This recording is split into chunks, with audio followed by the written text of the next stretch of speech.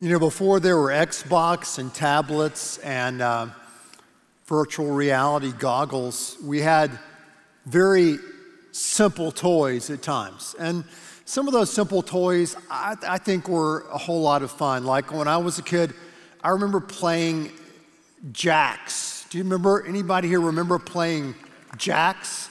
Yeah, jacks are a good thing. Young folks, if you don't know what jacks are, you can Google that when you get home and Jacks were fun. Um, also, we had something, I think this was back in the 70s, uh, called clackers. How many of you remember what a clackers are? Yeah, they were two glass balls with a string on them. That lasted for about six months until some kid in Wyoming busted his head and they took them off the market, as I recall. But one of the toys that I remember, I guess it really wasn't a toy, but it was something very simple that uh, someone had told me about. I guess someone at school told me, and because I'm kind of a skeptic, I didn't believe them. But they told me if you took a magnifying glass and went outside on a sunny day, and you could focus the sun rays through your magnifying glass, you could burn a hole through a leaf. So, this little guy didn't know better. I said, hey, I'm going to try that out. And lo and behold, as you know, it works the magic of a magnifying glass. Now, it's interesting, you know, we play with magnifying glasses when we're little, then when we're older, we actually need them to read stuff. But Christmas, many times, is a magnifying glass. It, it magnifies everything. It, it magnifies our hopes and our dreams, but it also magnifies our pain and our losses. Some of my greatest moments, my highest highs, have been magnified during the Christmas season, and some of my lowest moments in my life have been also magnified during the Christmas season. As you know, we are in the midst of celebrating Advent, and we're looking at different words that represent the Advent season. We've talked about hope, we've talked about peace, and today we're going to look at what I think is one of my most favorite words in the entire English language. And that is the word joy. Joy. That's a fun word even to say. Say it with me joy. There's something about human beings being conscious, sentient creatures that we are. There's something inside of us that is always seeking for that sense of joy. Joy. What is joy? Where do you find joy? Well, if you live long enough, you know that you cannot find joy in stuff in things. You get something brand new, no matter what it is, and it'll bring you a sense of happiness for a little bit, but it will not give you what you're searching for that elusive joy. Things do not give us joy. Possessions do not give us joy. Money, believe it or not, does not bring us joy. It cannot be found there. Today, we're encouraged to look inside of yourself Man, I, have got to go to find myself. So I'm going to launch out and do something or travel or focus more on me and meeting my needs and my desires and trying to express myself and my individuality. But joy is not found by looking inside. Joy is not found, is it? By being preoccupied with yourself and your own needs and desires and pleasures. Joy is not found there. Joy is not found in substances. Joy is not found in success. It's elusive. But it's interesting, as you know, many of you know, the, the Bible really is a, is a book that's filled with joy. Joy. The Bible mentions the word joy 242 times. The book that mentions joy the most, no surprise, is the book of Psalms. Coming in second place is the book of Luke. Nehemiah 8:10 writes, "The joy of the Lord is your strength." Joy can give us strength.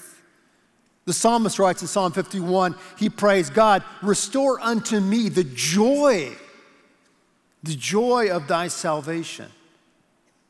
Psalm 5:11 says, "But let all who take refuge in you rejoice; let them shout for joy forever."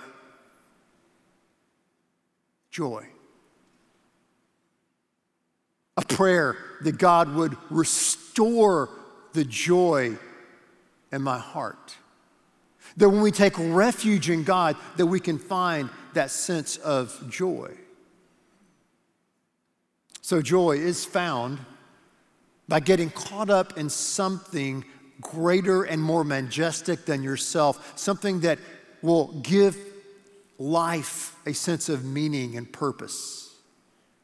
Someone said that joy is delight in life that runs deeper than pain and pleasure.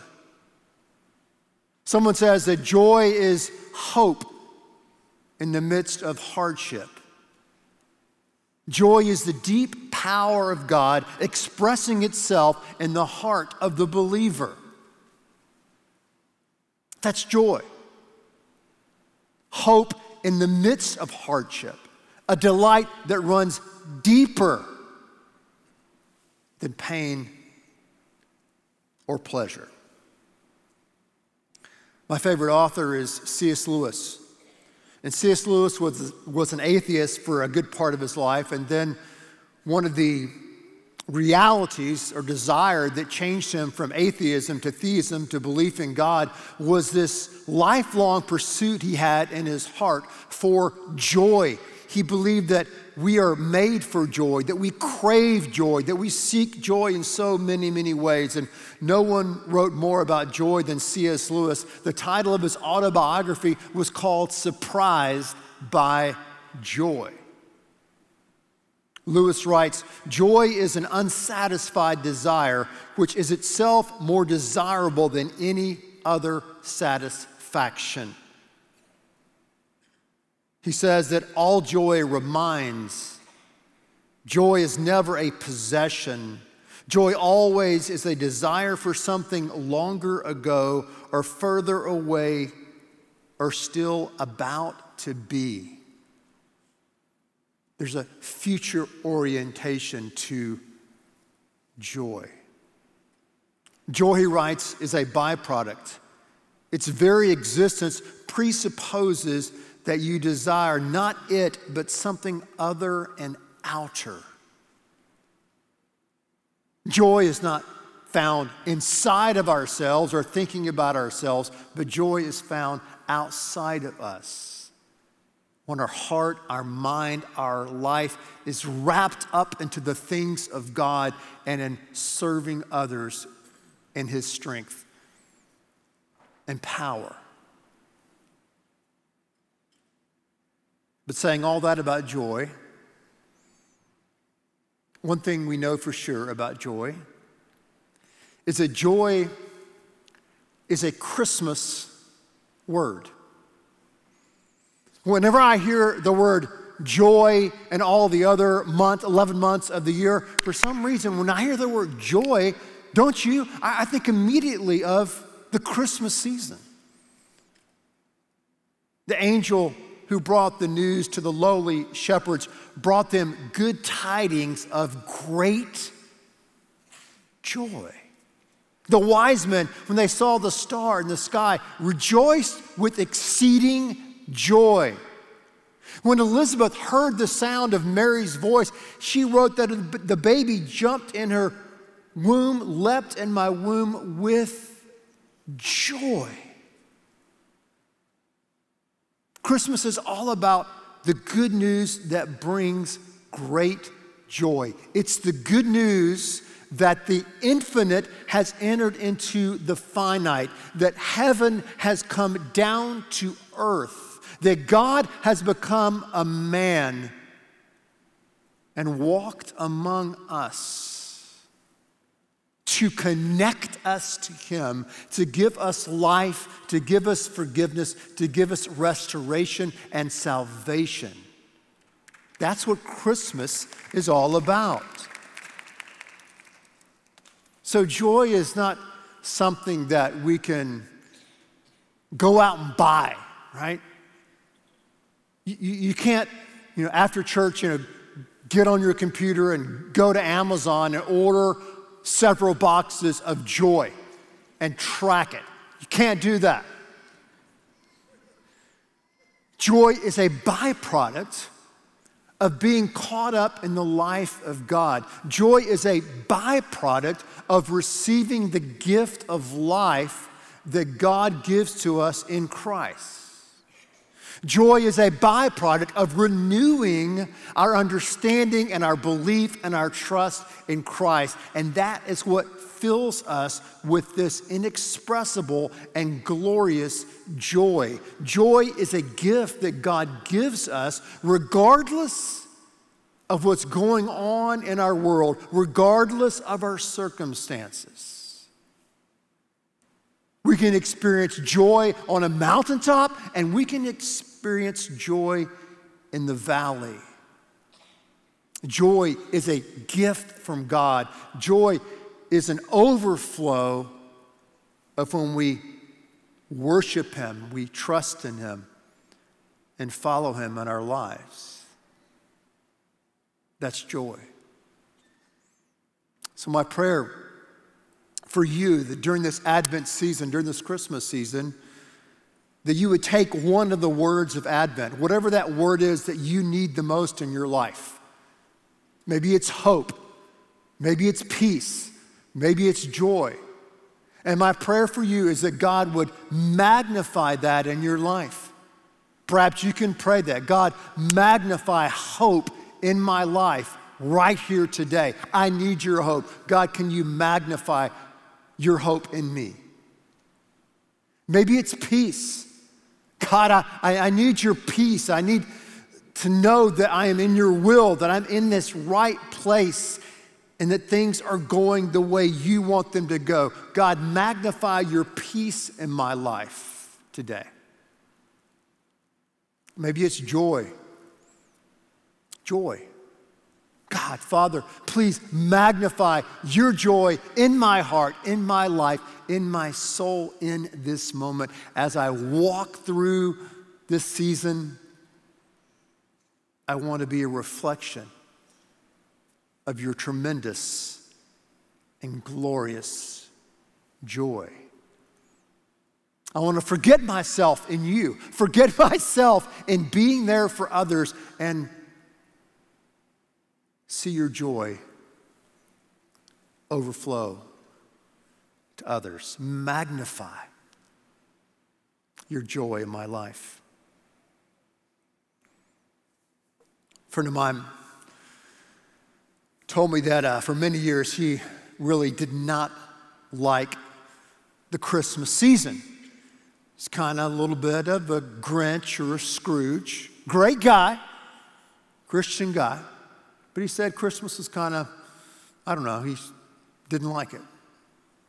He said, but years ago something changed. Someone invited him to a very simple graduation ceremony in the month of December.